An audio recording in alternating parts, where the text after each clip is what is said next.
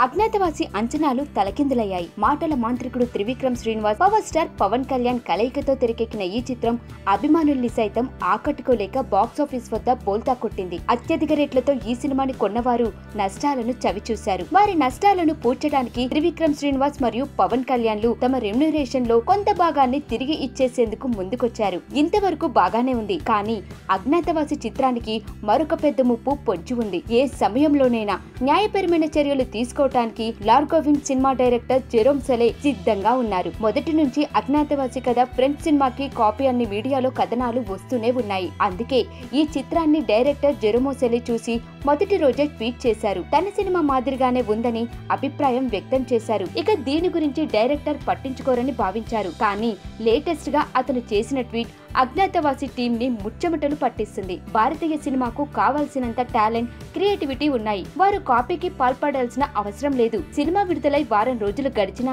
అజ్ఞాతవాస unit నుంచి ఎలాంటి ప్రతిస్పందన లేదు. ఇక చట్టపరమైన చర్యలు తీసుకునే సమయం వచ్చింది. లీగల్ నోటీసులు పంపిస్తాను అంటూ హెచ్చరించాడు. దీనిపై త్రివిక్రమ్ టీం ఎలాంటి నిర్ణయం తీసుకుంటుందో చూడాల్సిందే.